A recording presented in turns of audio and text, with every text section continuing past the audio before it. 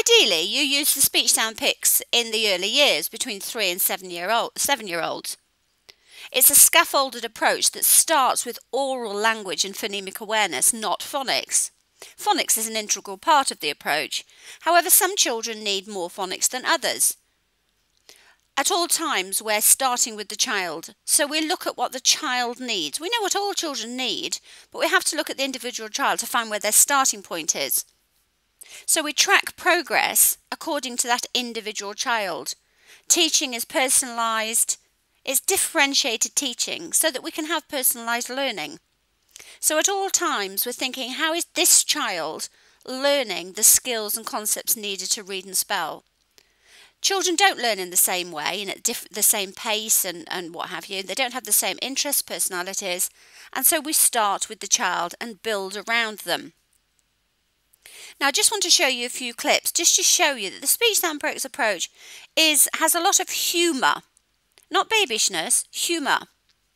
And this really appeals to even teenagers. Teenagers have often had 10 years in the system and are still illiterate. So I create stories, poems, songs around the students I'm working with, but they do tend to appeal to all students. Fun, play, self discovery, inquiry learning is at the very heart of the Speech Sound Pics approach, and it works for all. Book, so you are the, the second person to read it. Kangaroo, a book about you. We won't tell him that that page, shall we? We'll just see what happens when he sees it. Hold on. Hey, you kangaroo. There we go. Right, that's in order. We've got to read the book. Oh, oh, it's on there. We've got to read it with straight face. A straight face. Straight face. Oh god. What do I get? Okay, here we go. So, I do? kangaroo. Let's do that one. Kangaroo, a book about you. Hey, you. Come on, you got to do it with straight face. hey, you kangaroo. Kicking over the there. You. Hey. Hey, you kangaroo. Wear your under. Where's your underwear? Point to it so I can see where you. Juggling, juggling up and down. When having fun, it's hard and found to frown. Frown. Double, uh, dribble, dribble, do uh, not hard at all. Look, I'm playing basketball. Point.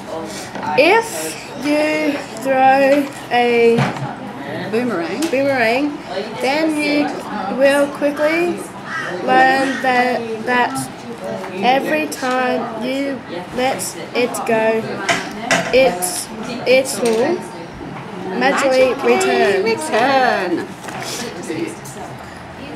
Not one, but two. Big kangaroos are jumping up and down. Best jump high. Can you see why?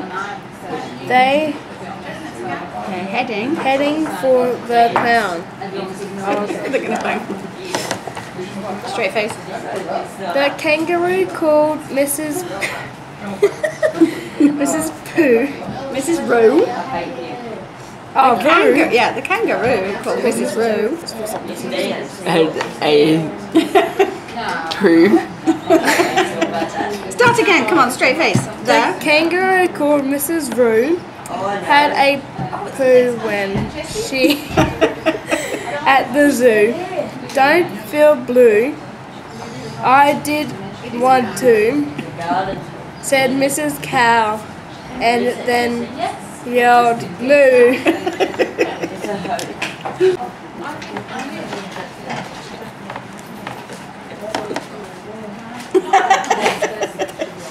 Come on, you've got to read it. You've got to read it without. David. Come on, you've got to read it without smiling. The kangaroo. Read it out loud, Prince. Read it loud. I did it. I did it. I I don't did want everybody to hear. Hey, I, Alright, I read whisper it. it. The kangaroo. The kangaroo called Mrs. Wu had a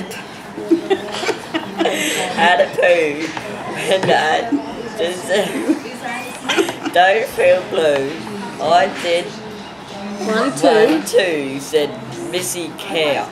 and then yelled moo. We haven't got someone to do it with a straight face yet. Who can do it with a straight face? Maddie, I can. Maddie can. Maddie. Okay, you ready? With a straight face. Son? The kangaroo called Mr. Gru had a poo. You've got to do it with a straight face. You're not Straight face, straight face. Come on, you can do it. Come on. Mr. Kangaroo called Roo had a poo when uh, when at the zoo doesn't feel blue. I did no well, I did one two. said Missy cow and then yell, yelled moo My silly poems that I do. And it said this one they've got to do with a straight face. A kangaroo Cool. called Mrs. Wu had a poo when at the zoo. Don't feel blue. I did one too. Said Miss Missy cow. Missy Missy cow. Cow, and then he Yelled? Yelled moo. Let's have a look. A kangaroo called Mrs. Roo had a A poo at, when, when at, at the, the zoo. zoo. Don't Don't feel, feel blue. I did, did one one, two, said said Mrs. Mrs. Cow. Cow. And then yeah, move. The, The gentle, gentle giant, giant giggled. Giggled. He, he, he. Now Now puppies, puppies having, having a a wee wee wee.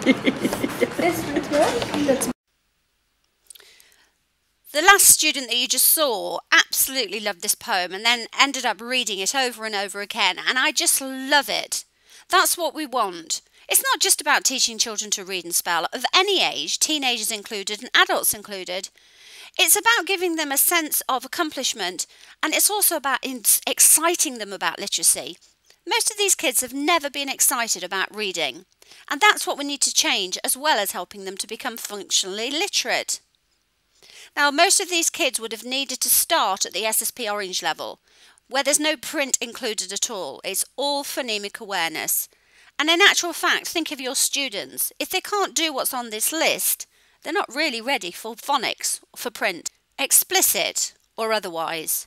Explicit phonics teaching means nothing without good phonemic awareness.